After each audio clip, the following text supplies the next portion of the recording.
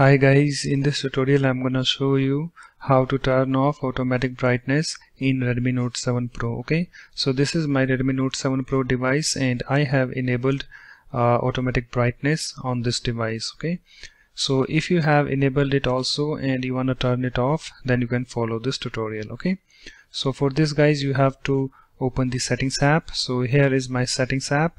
Just tap on this to open it. So let me tap on the settings app you can see it's opened and after that you have to scroll down uh, to this personal section okay? And here we have the display under this personal.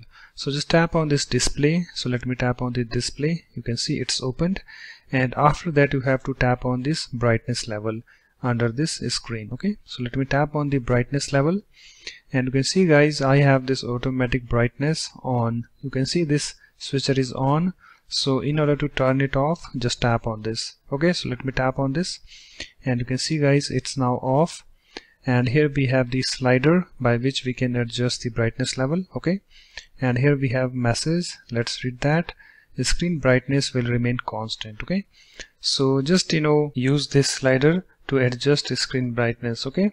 So you can move this you know slider to the right if you want to increase screen brightness. Okay and if you want to you know decrease the screen brightness you can move this uh, slider to the left position okay? So uh, just you know adjust it according to your requirements okay? So I want this much screen brightness okay?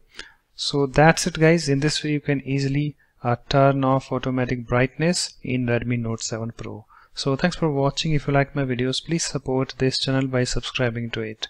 Thanks. Bye bye